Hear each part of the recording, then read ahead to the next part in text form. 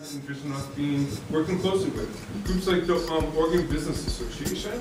Uh, they get the fact that like you know we're ravaging the state budget, and the Oregon Business Association cares a lot about the way we're investing in pub- um, the, the Human Services Coalition of Oregon because this is also you know it's not just the uh, our education budgets that are being ravaged by legislators. It's also the social safety.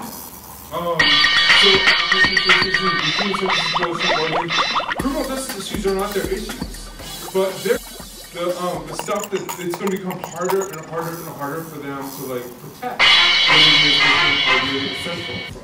So I'd say there's there's real support there. You know, I have, what I haven't talked about. What are the policies that help shift? Um, you know, our this this massive prison bill. So I just want to give you a couple of exa- examples. So uh, the truth of the matter is, our opponents like, you know, they're real. There's real opposition to this.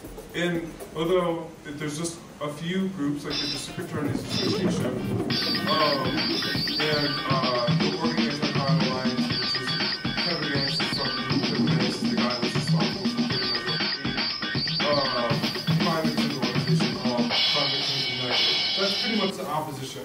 But they're, they're a powerful force. Is, uh, they're going to use fear, basically, to say like, okay, what, to really address this, the policy reforms are, you know, are going to put um, scary people in the streets and actually make us less safe.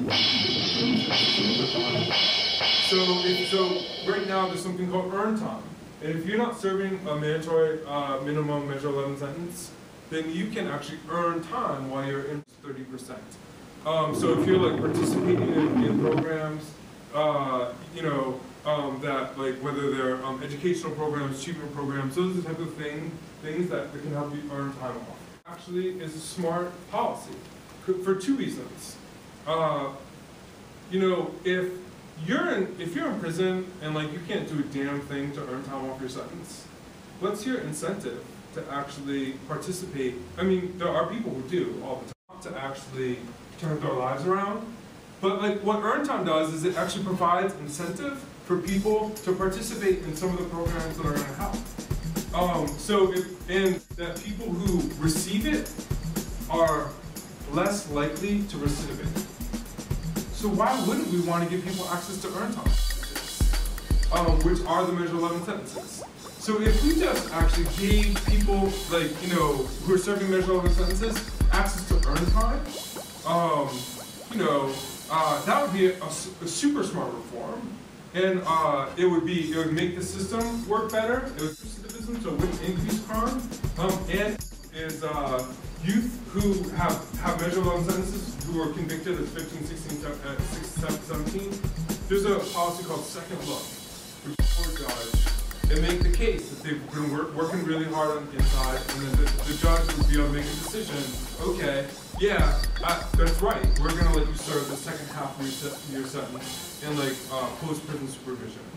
You know, but under certain, but, um, but second look, actually, you know, it would give young people an opportunity just to, if they make, successfully make the case, to serve the second half of their sentence, um, you know, uh, in the community, under supervision a really smart sentence, uh, I'm sorry, policy, because what we've learned is that if you put uh, young people in the adult system, they're much more likely to commit a, a future crime.